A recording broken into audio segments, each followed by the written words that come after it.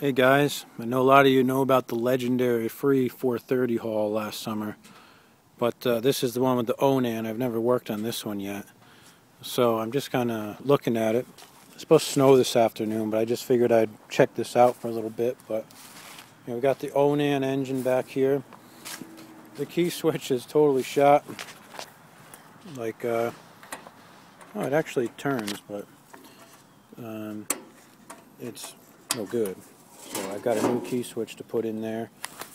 It's got a solenoid in there. Who knows if it works, but um, what I'm going to do is change out that key switch and take off the hood here.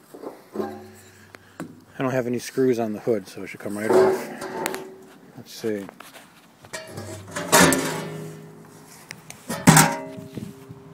There's this cool old Exide battery here from like 1992, which is mint. There's some gas in the tank here, which is kind of varnishy.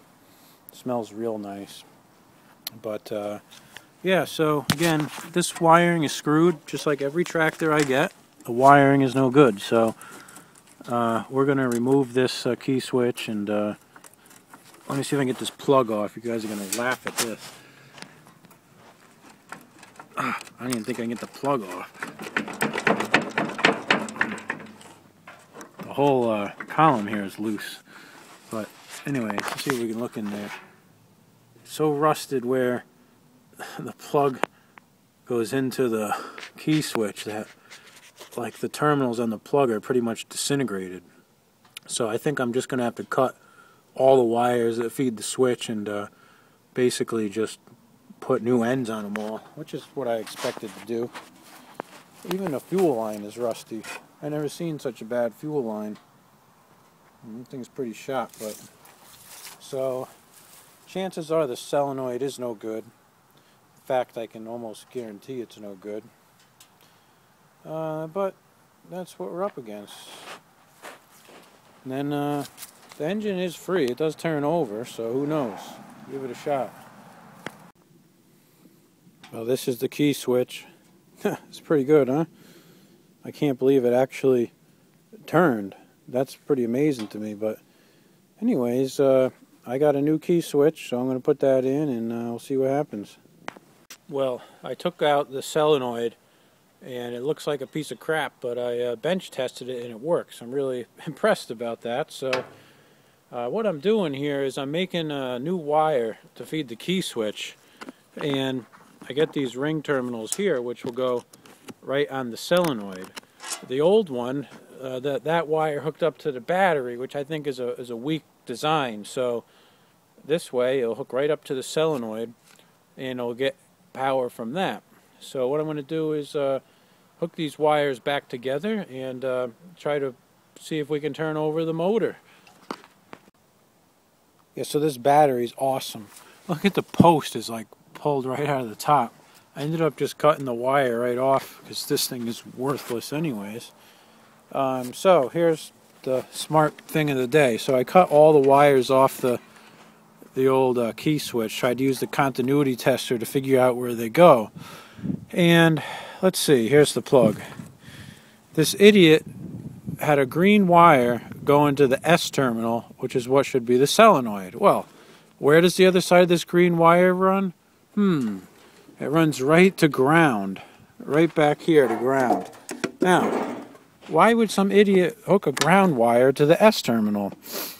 The S terminal was hooked up to the I terminal for ignition. So for now, I just basically crimped some ends on there, made some makeshift wires.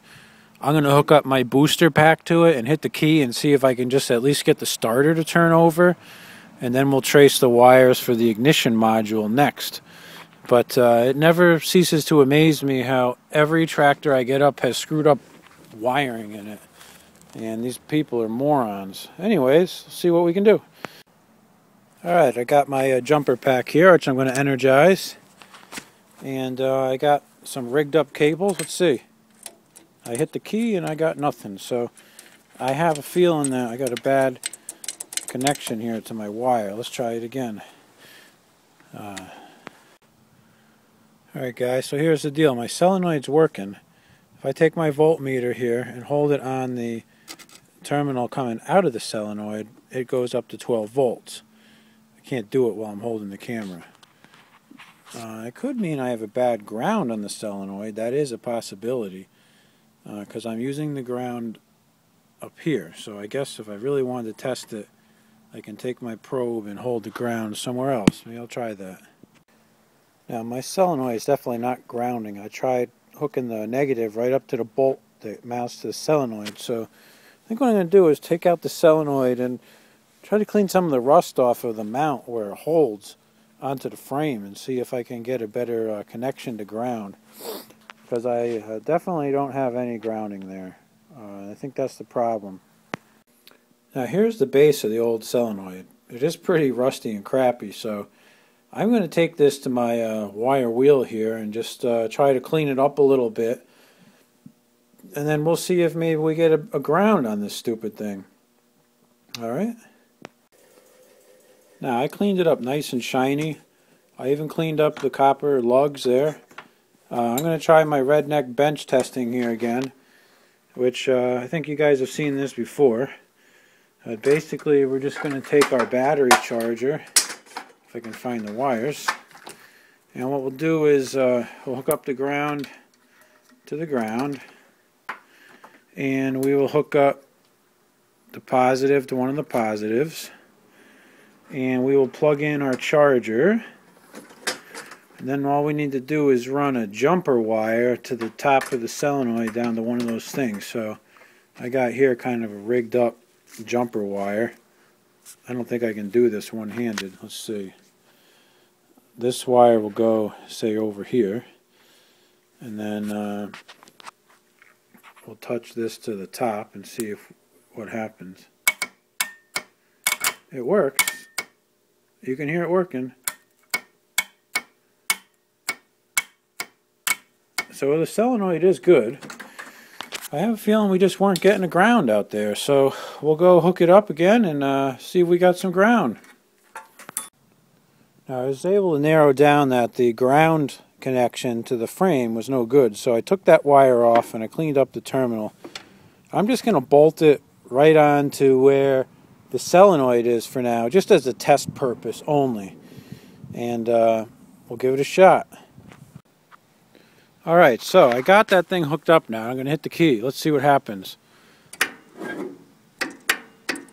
Ooh, the starter turned a little bit.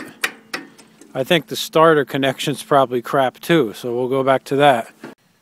This is my connection on the starter, which is uh, pretty awesome, huh?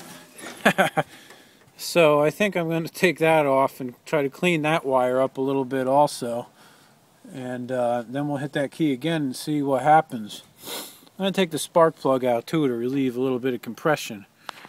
I love these things. The Onan NB. Sweet. Now I cleaned up that connection down there and I'm going to hit the key again. I took out the spark plug. We'll see what happens. And stuck.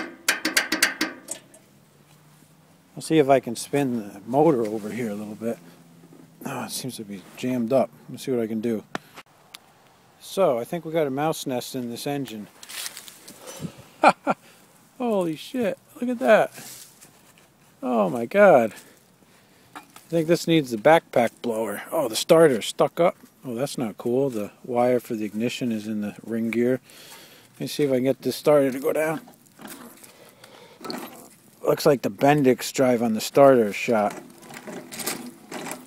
Probably gonna have to take this off and uh, clean it up on the bench because it don't want to go down. It's definitely stuck up.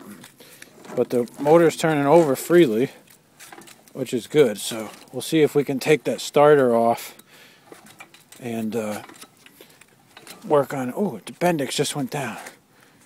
Probably needs a bunch of oil in there. The freaking mouse nest is all in the teeth and the ring gear. But uh, let's hit that key again and see what happens. Well, guys, it started snowing, so I'm gonna have to wrap this up. But look, I got the uh, thing out, and we'll see what happens if I hit the key. Started working. Yeah, baby.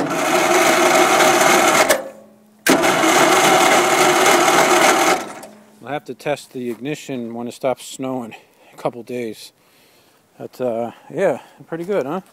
I should take my backpack blower and just blow all that mouse nest crap out of that thing. And uh, that'd probably be a good idea, but that's pretty funny, huh? Alright, guys, we'll see you at the next part of this. Who knows when that's going to be, but uh, someday we'll be back in business here. I really want to test the ignition module. That's next on my list. I'm dying to know if it works, but it's snowing and I'm going to pack it in.